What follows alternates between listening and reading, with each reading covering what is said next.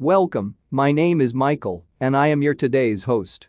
Today, we will discuss about SpaceX SN-11 rocket. SpaceX has called off the test flight of the Starship SN-11 today, as thousands of fans worldwide gathered online to see the rocket launch on its maiden voyage.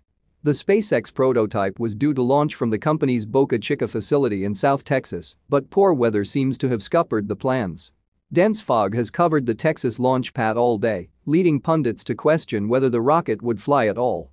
SpaceX all but confirmed it would attempt to launch the rocket earlier today, March 26, when Elon Musk's company posted an official update on its website.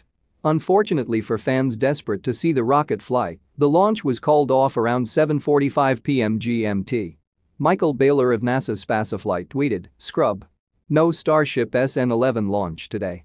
The road closure has concluded. Although no official cause was announced, it is likely unfavorable weather in the launch area is to blame. Cameron County officials have called off the road closures around Boca Chica, indicating the launch will not go ahead today. Backup closures have not been issued, but fans are hoping SN11 will fly on Monday. As soon as the news was announced, fans flooded social media to vent their frustration and disappointment.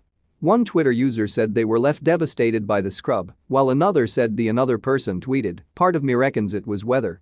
They must have visibility limits imposed by themselves or FAA.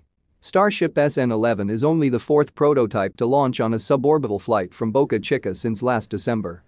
So that was all for today. I will be uploading videos on all major updates regarding Starship and SpaceX future plans.